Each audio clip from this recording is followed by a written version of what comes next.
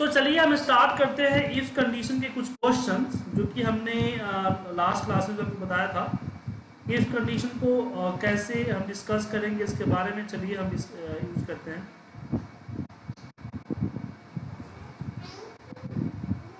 सबसे पहला क्वेश्चन पे आते हैं। हमारे पास क्वेश्चंस कुछ है और रोमिन जी ने इसको सॉल्व भी किया है।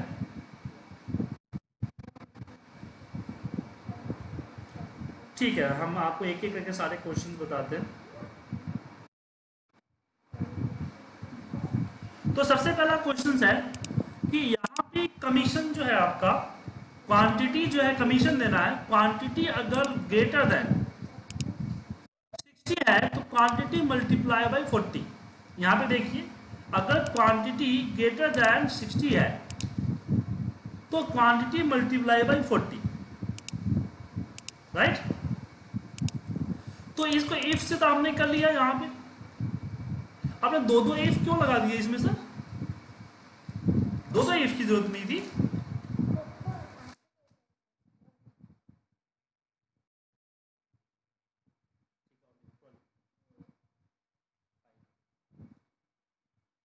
यहाँ पे सिंपल लगता कि इफ़ अगर क्वांटिटी इज़ ग्रेटर देन 60 या ग्रेटर देन इक्वल टू 60 तो quantity multiply by 40 otherwise zero simple लगेगा यहाँ पे ओके और आपने इसके ऊपर कंडीशनल फॉर्मेटिंग भी लगा दिया है, कोई बात नहीं।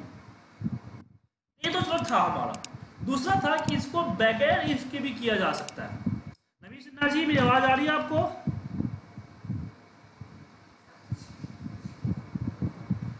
मैंने म्यूट कर दिया आपको।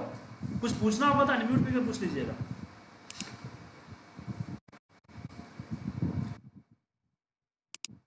तो यहाँ पे विदाउट इफ़ कैसे होगा? तो यहाँ पे कंडीशन देंगे कि इफ़ इफ़ नहीं विदाउट इफ़ करना है हमने बताया था कि हम डायरेक्टली इसमें कंडीशन दे सकते हैं कि ग्रेटर देन इक्वल टू या ग्रेटर देन 60 हम करेंगे तो रिज़ल्ट आपका ट्रू और फॉल्स में आएगा। अब एक्शन में क्या होता है कि true equal to one and false equal to zero होता है। ये कैसे साबित करेंगे? तो इन दोनों को आप आपस में प्लस कर दीजिए तो वन आएगा।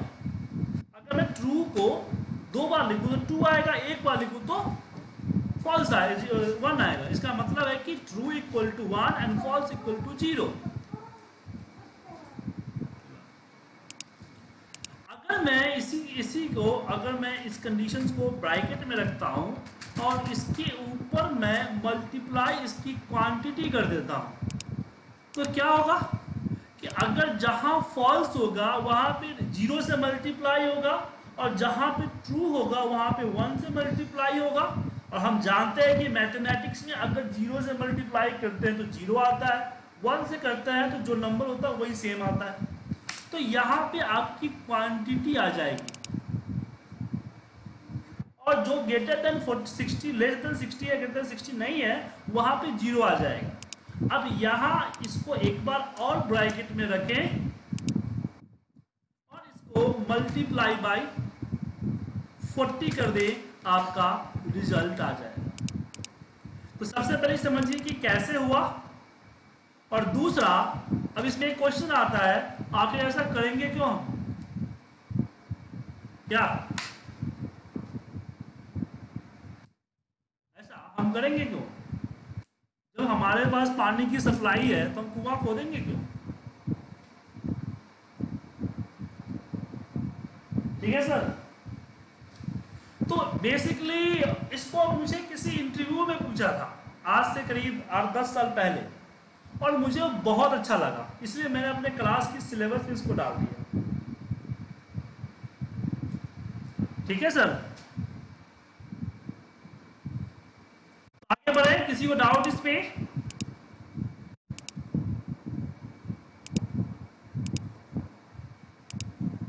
किसी को डाउट नहीं इसमें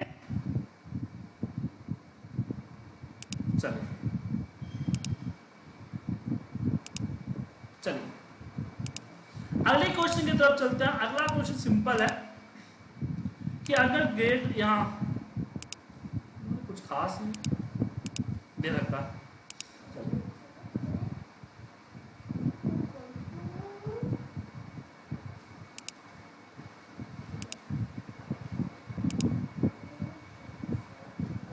इसलिए कुछ नहीं करना था गलत कर दिए, ये सब क्या क्या ज़रूरत क्या था? एक्टिविटी आप लगा दिए, लेकिन ज़रूरत नहीं थी। जहाँ ज़रूरत, वहाँ लगाइए, सर। इफ़ अगर ग्रेटर देन इक्वल टू 40 है तो पास। सिंपल सा हम लिखेंगे, जो कि ये तो आपको पता ही है, इसको बताने की ज़रूरत नहीं है। फिर भी मैं यहाँ पे लिख देता हूँ ऐसे फॉर्मेलिटी के लिए क्वेश्चन थ्री में यहाँ पे अगर टैक्स निकालना, अगर M R P greater than 500 है तो यहाँ पे टैक्स आना चाहिए 12 परसेंट अदरवाइज़ आना चाहिए 5 परसेंट। तो यहाँ पे हम इफ़ कंडीशन यहाँ पे इन्होंने इफ़ कंडीशन लगाया हुआ है। सिंपल देख लेकिन इसमें इन्होंने दो इफ़ लगा दिया। यहाँ पे दो इफ़ की ज़रूरत थी नहीं। रोबिन जी, जहाँ जो ज़रूरत है वहाँ लगाइए। और एक ही इफ़ हो जाएगा। इससे पहले भी आपने गलत किया है आपने। दो इफ़ की ज़रूरत नहीं है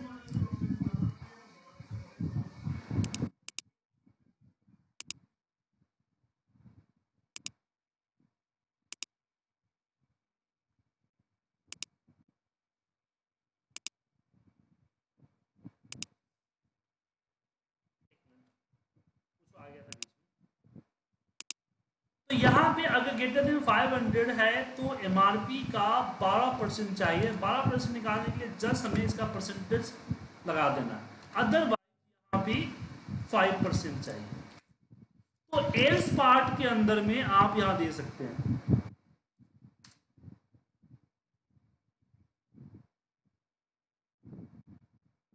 ठीक है? अब इसको नीचे की तरफ़ ड्रैग करें। पांचवा नंबर क्वेश्चन है। यहाँ पे देखिए क्या है। कि यहाँ पे बेसिकली टाइम है। तो ये चीज़ समझाने की बात नहीं कर रहा हूँ। टाइम को इस फॉर्मूला में किसी भी फॉर्मूला में कैसे डालेंगे, ये हम यहाँ पे समझा रहे हैं। तो जैसे कि हमने इफ़ लगाया, और इसको कंपेयर कैसे करेंगे? कि भाई ये कंपेयर ग्रेटर देन दस बजे का है या नहीं है। तो उसके लिए दो तरीके एक तो कि कहीं पे टाइम लिख दो, और फिर उसमें आप सिंपल सा, the O T otherwise M लेकिन आपको किसी सेट सेट पे आपको नहीं रखना है तो क्या कीजिए? यहाँ पे आप इफ़ फॉर्मूला लगाएँ और इसको टाइम फॉर्मूले के अंदर डाल दें कि टाइम आवर मिनट सेकेंड समझे than OT otherwise NT.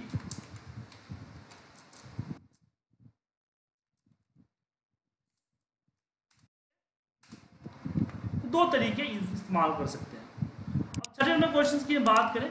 ये पास और फेल था। ये तो मैंने कल आपको बताया ही था कि इसमें हमने एंड का यूज़ किया हुआ है। सर एंड का इस्तेमाल हमने किया हुआ है। और यहाँ पे विदाउट काउंट इफ़ का यूज़ किया नेक्स्ट इफ़ जो कल मैंने बताया था, उसका भी इस्तेमाल कर सकते थे आप। अब इसमें आता है ग्रेडिंग सिस्टम मुझे इसमें ग्रेड देना है। तो जैसे इन्होंने लगाया हुआ है कि if B two is less than equal to forty less than equal to करना, कर लीजिए हाँ लेस भी चलेगा। सी देन अगला नेक्स्ट इफ़ सिक्सटी तो बी अगला नाइन्टी तो यहाँ पे ए अदरवाइज़ ए प्लस यहाँ पे आपने ठीक किया है। ठीक है? इसका इस्तेमाल कर सकते थे। और आपने यहाँ जो एंड का इस्तेमाल किया, रोबिन जी, ये एंड का इस्तेमाल करना यहाँ ज़रूरी नहीं था। क्यों? देखिए एंड का इस्तेमाल हम तब करते हैं जब मुझे एक बिटवीन का मतलब दो ही चाहिए। वो चाहिए। जैसे मान लीजिए कि अगर यहाँ पे हमें बोल दूँ कि 85 टू 95 वाले को एक्स्ट्रा मार्क्स देना है, यहाँ पे ई एक्स टी आर लगाना है, देना है। तो सिर्फ़ इसी को देना है। तो उस केस में हम यहाँ पे एंड लगाएँगे, क्योंकि हमें पता है कि 85 से नीचे और 95 के ऊपर में कुछ नहीं देना है। तो यहाँ पे एंड यूज़ हम कर सकते हैं। ए एंड डी एंड और हमने यहाँ पे इसको, यहाँ पे सिलेक्ट किया और बोला कि अगर एक greater than equal to 85 comma फिर वापस इसको सिलेक्ट किया और लेस देन इक्वल टू 95 ठीक है?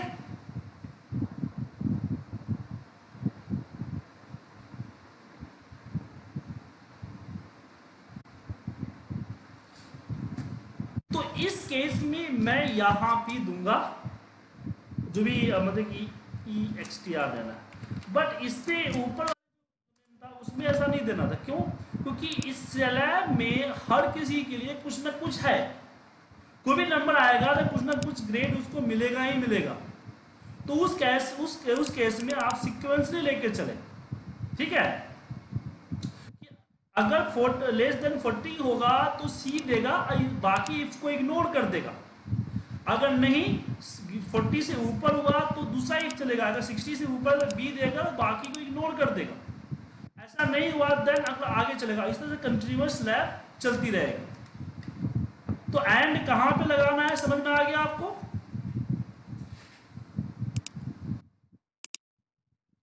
किसी को डाउट तो नहीं है? हाँ।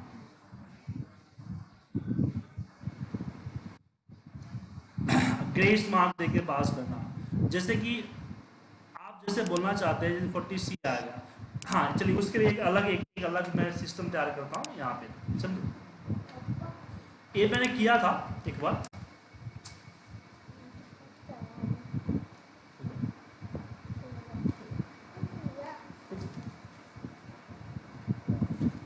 एक मिनट दीजिए सर, एक मिनट। मेरा बेटा मेरे साथ है सर, ऐसे स्कूल बंद है तो हमारे साथ ही रहता है। एक मिनट दे दीजिए, वरना फिर परेशान कर देगा। मैं उसको होमवर्क दे देता हूँ। ठीक है टेबल ठीक है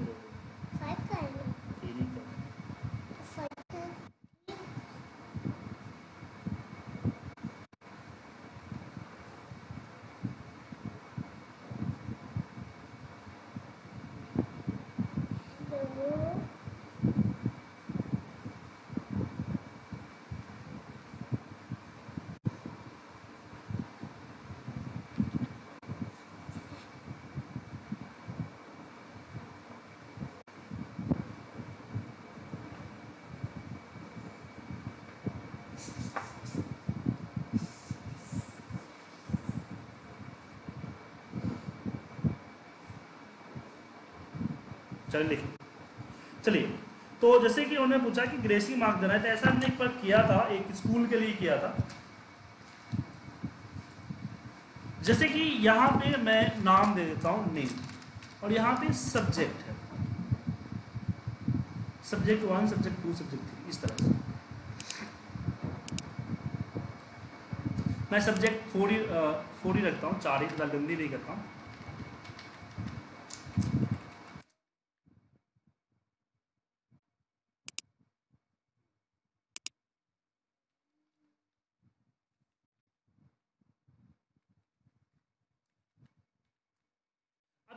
क्वेश्चन का यहाँ पे था कि हम जो है, हमारे पास टोटल जो है हम फाइव मार्क्स की ग्रेसिंग दे सकते हैं। ठीक है? यहाँ पे हमें टोटल देना था टोटल हम टोटल फाइव मार्क्स की ग्रेसिंग दे सकते हैं। तो अगर मुझे इसमें देखना है, जैसे कि मान लीजिए किसी में हमारा जो है ट्वेंटी थ्री ट्वेंटी थर्टी पे पास है हमारा। थर्टी पे पास है।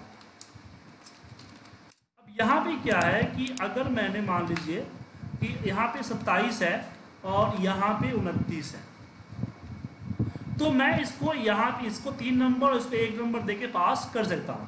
लेकिन मान लीजिए कि यहाँ, ये इसी को देख लीजिए आप सत्ताईस है, इसको एग्रेसिव मार्क मिल सकता है। मान लीजिए किसी को चौदह है और किसी को अट्ठारह है तो इसको पास नहीं किया जा सकता। या फिर मान लीजिए ना कि इसको ट्वेंटी सिक्स है और एक सब्जेक्ट में आया हुआ है ट्वेंटी सेवन तो ये पास नहीं होगा क्योंकि हमें टोटल फाइव मार्क्स की ग्रेसिंग पावर दी गई है। तो अगर मैं इसको यहाँ फोर देता हूँ तो फिर यहाँ पे थ्री है। बात समझ में आया? तो हमें फाइव से ज़्यादा ग्रेसिंग नहीं देना है। फिर रिज़ल्ट चाहिए तो कैसे करेंगे सर? तो इसके लिए मुझे यहाँ एक टोटल पे कुछ नहीं कर सकते क्योंकि हमें पता होना चाहिए कि हमने कितना ग्रेसिंग मार्क्स दिए हैं। तो ग्रेसिंग मार्क्स देने का मुझे एक ए होना चाहिए ना। रिकॉर्ड होना चाहिए, तभी तो मैं मेजर कर पाऊँगा।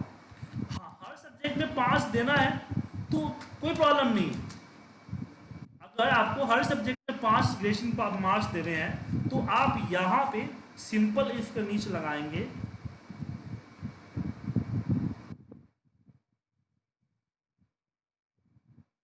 यहाँ पे सम सम में देंगे इफ़ अगर अगर A less than equal to five है लेस देन थर्टी है तो प्लस हो जाए फाइव। ठीक है? हाँ थर्टी थर्टी नहीं तो जो नंबर है, वो नंबर लिख ठीक है सर ये सेम फीचर्स जो है, वापस कॉमा एक और हर इफ़ के हर चीज़ के लिए ऐसे करना है। Plus less than thirty then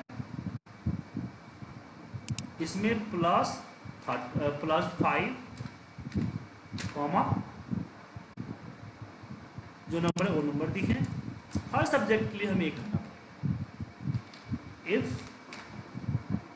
अगर ए लेस देन थर्टी है तो इसमें थर्टी फाइव कर दे। नहीं तो जो नंबर है, वो शो फिर कॉमा फिर अगेन इफ़ अगर A less than equal to less than sorry thirty है तो इसमें प्लस फाइव अदरवाइज़ जो है वो आएगा अब मैं इसको और रिज़ल्ट आपके सामने। ठीक है सर क्लियर है जैसे इन दोनों को सिलेक्ट करने के बाद आप देख रहे हैं कि रिज़ल्ट 296 है। अगर मैं यहाँ पे मान लीजिए कि अगर 26 कर देता हूँ तो इनको सिलेक्ट करने के पे यहाँ पे 245 है, लेकिन रिज़ल्ट 50 आ रहा है क्योंकि इन्होंने फाइव ग्रेसिंग को ऐड कर दिया ओके लेकिन वो जो मैंने सिस्टम बोला कि अगर वो सिस्टम होता है, कैसे होगा? चलिए उसको भी समझा देता हूँ। मज़ेदार है ना सर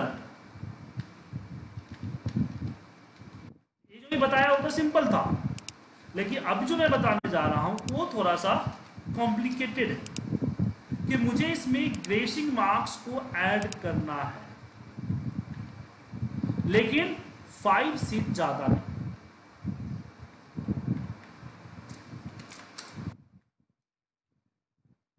और मुझे टोटल फाइव ऐड करने तो यहाँ पे हम करते हैं कि इफ़ अगर ए लेस देन थर्टी है। अगर लेस देन थर्टी है तो इसमें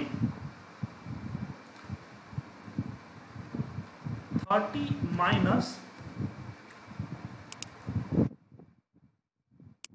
जितना कम है।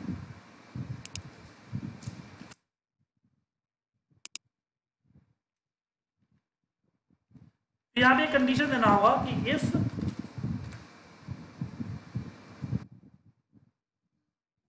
अगर ए लेस सॉरी अगर जो हमने माइनस किया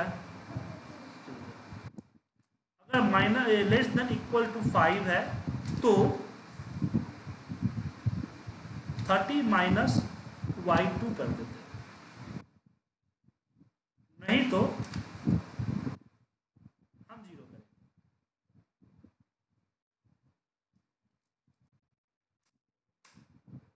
और यहाँ लास्ट में ज़ीरो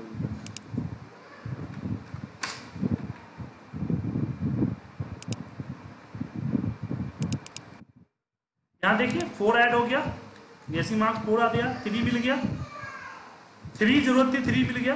लेकिन अगर मैं दू फोर्टीन कर दूँ तो इसको ज़ीरो मिलेगा, क्योंकि ग्रेस मार्क्स से पास होने वाली फीचर नहीं है। तो ग्रेस मार्क्स से पास अगर हो रहा है, तभी हमें मार्क्स देना है तो नहीं तो नहीं देना है। समझे? फॉर्मूला यहाँ पे लगेगा, लेकिन यहाँ पे लगेगा कि इफ़ इफ़ अगर ए लेस देन थर्टी है तो एक और इफ़ चेक करना है कि इफ़ अगर A thirty minus A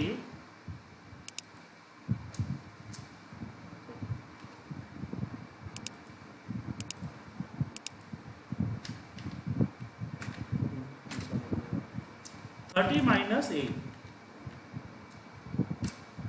less than equal to five minus हम जो रिज़ल्ट दे चुके हैं, अगर ऐसा है तो यहाँ पे फाइव माइनस ए शो हो जाए। अदरवाइज़ ज़ीरो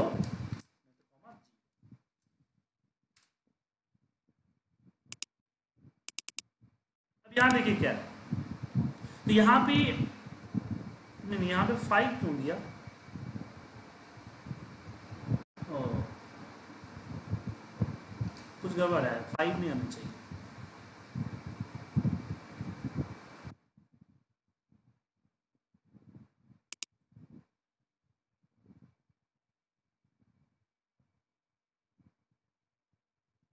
यहाँ पे कुछ और देना पड़ेगा सर। तो यहाँ हमने चेक कर लिया कि जेड टू में जो हमने ग्रेसिंग मांग दिया है, पाँच से कम अगर उतना ही इसको चाहिए तो हमें ग्रेसिंग पावर देना है। तो यहाँ पे हमें सिंपल इसमें thirty thirty minus thirty minus जितना चाहिए, उतना हमें देना है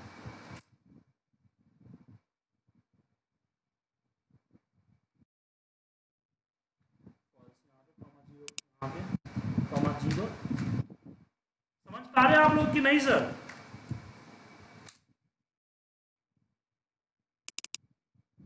तीन ही आया ना। फालतू वेस्ट नहीं हो अब मान लीजिए थर्टी फोर है, तीन हम दे चुका। अगर मैं ट्वेंटी एट है तो यहाँ दो दे दिया। अगर मैं ट्वेंटी सेवन करूँगा तो ज़ीरो हो जाएगा। क्योंकि ग्रेसी दो बचे हैं, इसको देने से पास नहीं होने वाला है। समझ रहे हैं, सर? अगर हमने ट्वेंटी नाइन कर दिया तो फिर इसको एक ही मिलेगा। तो एक ही से पास हो जाएगा। जितना ज़रूरत है पासिंग को उतना ही देना है। बाकी बचेगा तो अगले सब्जेक्ट में कर देंगे ना हम। अगले सब्जेक्ट में भी सेम कंडीशन होगा कि इफ़ अगर ए लेस देन थर्टी है, और फिर एक चेंज रहेगा इफ़ थर्टी है। और फिर हमने बोला कि थर्टी माइनस जो है जो रिज़ल्ट आएगा, अगर वो लेस देन इक्वल टू हमने बोला फाइव माइनस इसको प्लस किया और इसको प्लस किया। और ऐसा अगर है तो क्या करें? तो थर्टी माइनस ये जो चाहिए उसको वो दे दें। नहीं तो zero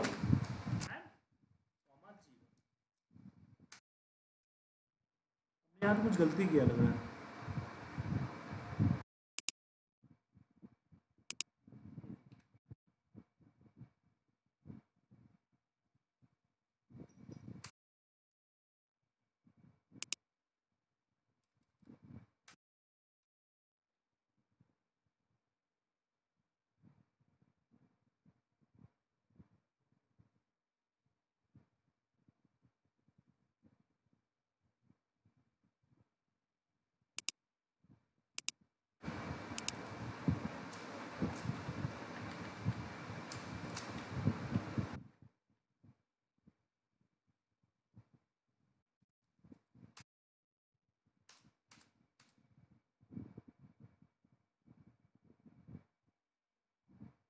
C two is less A C two is less than thirty than if चले 30 माइनस ए सी टू अगर लेस देन इक्वल टू है five minus J two plus A V two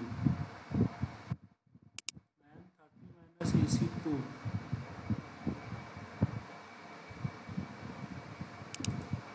zero oh हाँ यहाँ पे।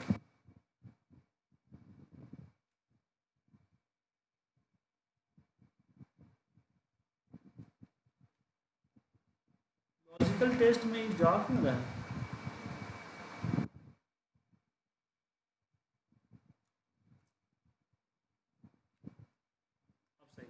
एक इसका कम दिक्कत था।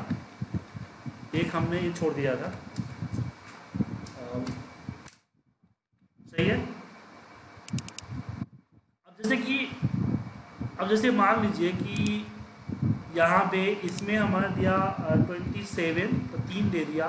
ट्वेंटी नाइन वन दे दिया और ये हमारा था अगेन ट्वेंटी नाइन। ये हमारा वन मिल गया। समझे? हेलो इसी तरह से चौथा कंडीशन लगा सकते हैं। तो किसी को डाउट इसमें? फिरोज जी, नवीन जी डाउट कोई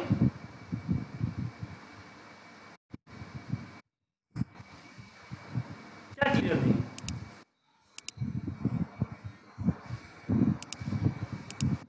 देखिए सुनिए। सुनिए क्या है सुनिए, सबसे बात जानिए कि एक एग्जामिनर एक पहले समझिए चार सब्जेक्ट है, ठीक है ना? टोटल चार सब्जेक्ट है और एग्जामिनर के पास टोटल एक स्टूडेंट पे पाँच ग्रेसी नंबर दिए गए यहाँ पे क्या था कि हर सब्जेक्ट में पाँच नंबर था तो हर सब्जेक्ट में पाँच नंबर दे दिया गया।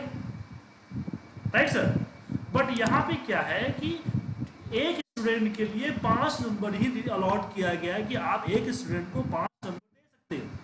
अगर पाँच नंबर डालने से पास होता है तो अगर वो दो सब्जेक्ट में अगर आपका पोस्ट को लगा है और पाँच नंबर को डिवाइड करके डालने पे अगर वो पास हो जाता है तो आप पाँच नंबर ग्रेस दे सकते हो।